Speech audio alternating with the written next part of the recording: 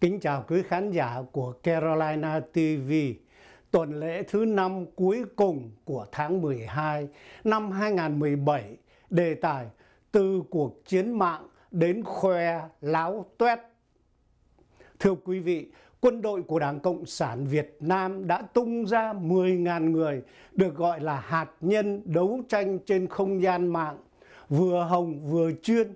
vào chiến trường đấu tranh chống những cá nhân và các thế lực chống đảng.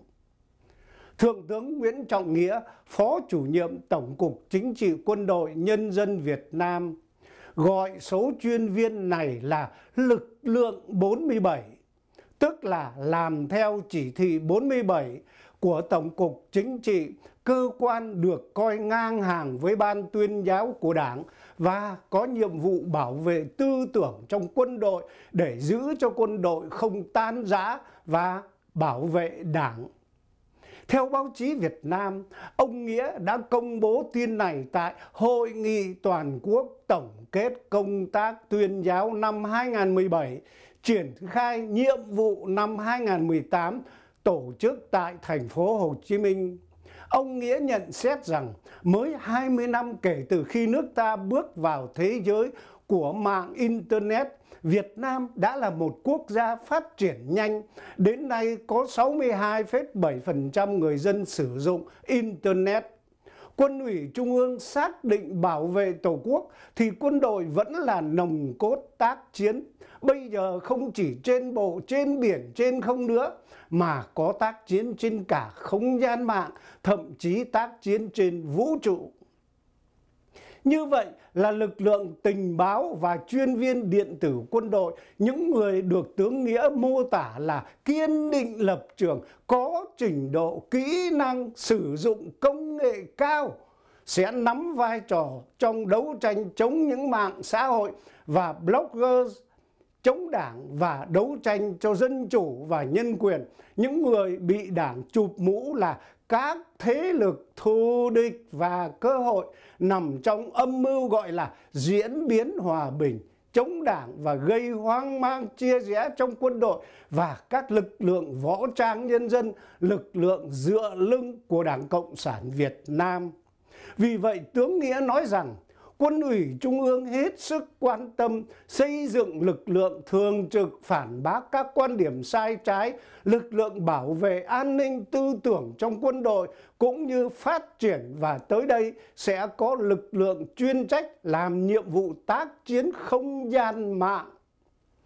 Biết rằng đấu tranh trên mặt trận mạng không dễ nên ông Nghĩa thừa nhận đấu tranh phản bác những luận điệu sai trái của các thế lực thù địch trên không gian mạng là cuộc chiến lâu dài khó khăn phức tạp, đòi hỏi phải phát huy sức mạnh tổng hợp của các tổ chức, các lực lượng cần có sự phối hợp chặt chẽ đồng bộ của các bộ, ban, ngành, đoàn thể từ trung ương đến địa phương. Ông Nghĩa cũng tiết lộ rằng lực lượng này đang hoạt động rất tích cực, hiện có ở tất cả các đơn vị cơ sở, mọi miền, mọi lĩnh vực của quân đội. Báo chí Việt Nam cũng cho hay phát biểu chỉ đạo hội nghị, sau đó ông Trần Quốc Vượng, Ủy viên Bộ Chính trị, Bí thư Trung ương Đảng, chủ nhiệm Ủy ban Kiểm tra Trung ương, thành viên thường trực Ban Bí thư nhận định cuộc đấu tranh trên không gian mạng là vấn đề khó khăn phức tạp, không chỉ riêng ở Việt Nam. Ông nói vấn đề có quyết tâm, quan tâm và đầu tư không? người ta đặt câu hỏi là một lực lượng làm công tác tuyên giáo hùng hậu như thế này Chúng ta có tới 800 tờ báo cách mạng, vậy mà chúng ta lại chịu thua trên mặt trận này sao? Đây thực sự là một thách thức. Ông Vượng đề nghị ngành tuyên giáo cần có những sáng kiến tham mưu với Bộ Chính trị, Ban Bí thư lãnh đạo, chỉ đạo, bảo đảm chủ quyền không gian an ninh mạng trên lãnh thổ Việt Nam, chủ động thông tin tích cực trên mạng xã hội, Internet nhằm góp phần thông tin tích cực vào công tác đấu tranh phòng ngừa suy thoái tự diễn biến tự chuyển hóa trong nội bộ. Trong khi đó, Bí thư Thành ủy thành phố Hồ Chí Minh Nguyễn Thiện Nhân cho rằng những thách thức và nguy cơ về công tác tư tưởng mà thành phố phải đối diện rất gay gắt hơn nơi nào hết và hơn bao giờ hết. Điều đó đòi hỏi công tác tuyên giáo thành phố phải luôn đổi mới, luôn đi trước một bước. Đến phiên mình phát biểu, trưởng ban tuyên giáo Võ Văn Thưởng báo động hiện đang có tình trạng cán bộ đảng viên đi tìm nhiều thông tin xấu trên mạng. Bên cạnh đó ông Thưởng cho rằng chúng ta có 60 triệu người sử dụng Internet, 53 triệu người sử dụng Facebook, 23 triệu người sử dụng mạng xã hội Việt Nam, một người sử dụng 2 tới 3 mạng với lượng người này trừ lực lượng cán bộ chỉ cần 10 đến 20% đối tượng sử dụng này là những người cùng chúng ta làm công tác tuyên giáo thì kết quả thu được tốt hơn rất nhiều. Điều này cho thấy báo chí và các cá nhân sử dụng Internet tự cho mình quyền không có bổn phận phải làm theo ý muốn của Đảng, nhất là trong lĩnh vực sử dụng loa phường để tuyên truyền cho chế độ, trong khi thực tế Đảng chẳng có gì tốt để lôi cuốn nhân dân. Bên cạnh những vấn đề then chốt, trưởng ban tuyên giáo cũng than phiền hiện nay đang có tình trạng ném đá lẫn nhau trong nội bộ. Ông nói một vấn đề nào đó nói ngoài thì khó hơn nhưng sẵn sàng lên mạng ném đa nhau. Đó là hậu quả trên bảo dưới không nghe và kỷ luật đảng đã bị coi thường trong cán bộ đảng viên. Như vậy cuộc chiến chống thù địch trên mạng đã vượt khỏi tầm tay của Bộ Thông tin và Truyền thông vì báo chí lơ là, chạch hướng và không tích cực chống cái xấu theo như đảng muốn. Ngược lại, báo chí đảng đã bị lên án chỉ tập trung khai thác những cái xấu và tụt hậu trong xã hội, nhất là các tin giật gân câu khách và tống tiền các doanh nghiệp. Thậm chí, theo lời ông Thưởng, có trường hợp nhà báo bị rút thẻ vẫn viết báo, thậm chí viết cay nghiệt hơn. Có những cơ quan báo chí thu nhận những phóng viên từng bị kỷ luật vi phạm về làm việc. Nhiều tờ báo khoán cho văn phòng đại diện 4 tỷ tới 5 tỷ mỗi năm nộp về là không phù hợp với tôn chỉ mục đích hoạt động của báo chí. Như vậy thì báo đảng có coi đảng ra cái quái gì đâu mà bảo họ phải đấu tranh chống các thế lực thù địch và tích cực tham gia chống tin xấu trên mạng.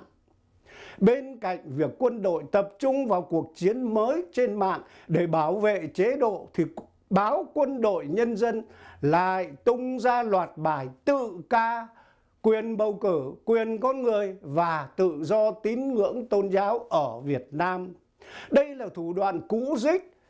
thích tự khoe cái mình không bao giờ có mà cứ khoe mãi làm như bàn dân thiên hạ toàn là dân ngu khu đen chả biết đâu mà mò.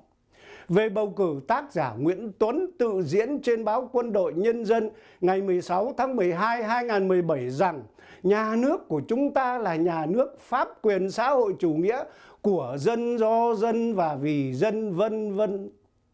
quyền bầu cử, ứng cử, quyền tham gia quản lý nhà nước và xã hội của người dân được quy định rõ tại các điều 27, 28, 29 Hiến pháp 2013. Nhưng trên thực tế thì mọi cuộc bầu cử và ứng cử ở Việt Nam đều do Đảng tổ chức qua trung gian tổ chức ngoại vi mặt trận tổ quốc nên bầu cử chỉ còn là đảng cử dân bầu. Nếu báo quân đội nhân dân và tác giả Nguyễn Tuấn quên mất rồi, thì hãy đến hỏi các nguyên ứng cử viên quốc hội khóa 14 đã bị loại bỏ trước khi bắt đầu như tiến sĩ Nguyễn Quang A, nhà báo Nguyễn Thụy, Nguyễn Tường Thụy và hai nghệ sĩ danh hài Vượng Râu và ca sĩ Mai Khôi để biết tại sao họ bị loại thẳng tay mà không cần bàn cãi. Như vậy, trò hề dân chủ đã quá trơ chén mà cứ khoe mãi. Ngoài ra khi nói các quyền con người như tự do ngôn luận, tự do báo chí và tự do hội họp, biểu tình và lập hội và tín ngưỡng tôn giáo thì tuy Hiến pháp 2013 đã nói rõ là một người dân có những quyền này. Nhưng thực tế vì chính phủ và quốc hội cứ mãi trì hoãn làm luật nên dân vẫn chưa được phép biểu tình, lập hội họp còn nói về quyền thông tin và được nhận thông tin qua mạng thì các nhà báo tự do, mạng dân chủ xã hội và các blogger là những nạn nhân của chính sách kỳ thị và đàn áp ác độc nhất đang diễn ra ở Việt Nam. Trong luật tín ngưỡng tôn giáo ban hành ngày 18 tháng 11 2016 đã có hiệu lực từ tháng Giêng 2018, các đại biểu của dân đã dành cho nhà nước nhiều quyền kiểm soát để bóp nghẹt hoạt động của các tôn giáo. Vì vậy, trong kháng thư đề ngày 20 tháng 10 2016, Hội đồng Liên tôn Việt Nam quy tụ những chức sắc của năm tôn giáo lớn Cao Đài, Công giáo, Phật giáo, Phật giáo Hòa Hảo và Tin Lành có mục đích đấu tranh cho tự do tôn giáo và dân chủ nhân quyền tại Việt Nam đã hoàn toàn bác bỏ luật tín ngưỡng tôn giáo.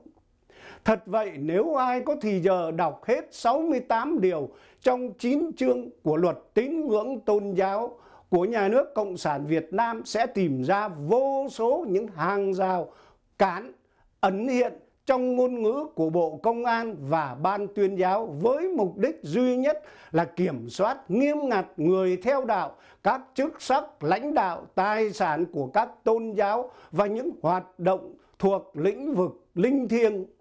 Ngoài những quy định trong luật tín ngưỡng tôn giáo như việc gì cũng phải đăng ký, thông báo để được các cấp chính quyền cứu xét, các tổ chức tôn giáo và người theo đạo còn phải tuân theo những quy định của nhiều luật khác của nhà nước. Như vậy, nay quân đội lại tung 10.000 cán bộ nắm quyền sinh sát trên mạng thì dân chủ và tự do sẽ vĩnh viễn biến mất ở Việt Nam. Nhân dân Việt Nam sẽ không còn đường thoát để tiến lên văn minh và tiến bộ của nhân loại. Trần Hưởng rút gọn và trình bày bài viết của nhà báo Phạm Trần. Trân trọng kính chào quý khán giả của Carolina TV.